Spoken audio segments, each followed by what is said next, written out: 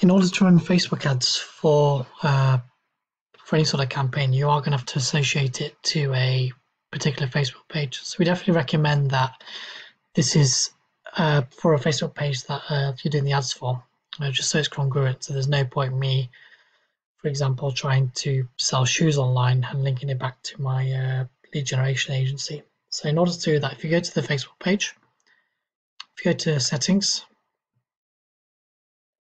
then if you go to page roles on the left hand side, then what you can do there effectively is just uh, add a name or an email to uh, to add.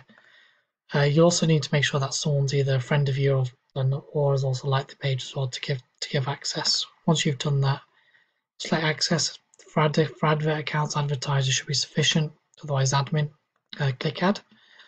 Uh, they'll then receive an email uh, with an invite. All they need to do is accept the invite, and they'll be able to access uh, your Facebook page as admin. Once they've been added to uh, your Facebook Ads Manager account, they'll also be able to select uh, your page from available uh, pages when creating ad campaigns. Hope that helps.